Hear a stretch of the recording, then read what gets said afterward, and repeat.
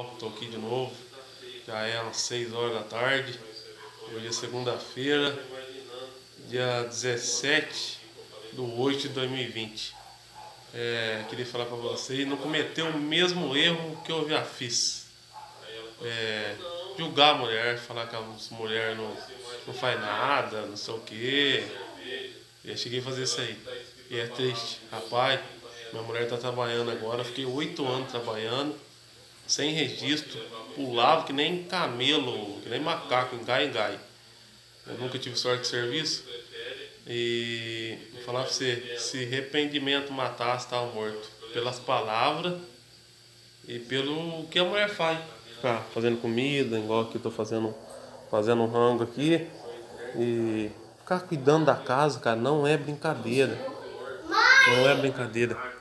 E ela vai escutar, você até chegou. Vou até parar de gravar para não atrapalhar a gravação. Mas não é fácil não.